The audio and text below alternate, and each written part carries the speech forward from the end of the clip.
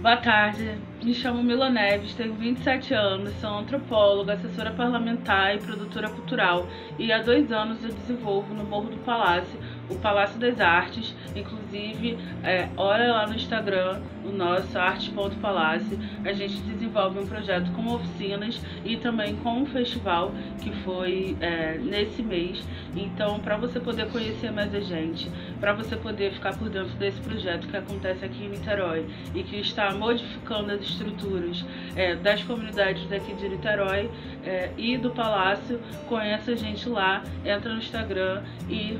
muito agradecida por esse prêmio, por todas as indicações e tamo junto.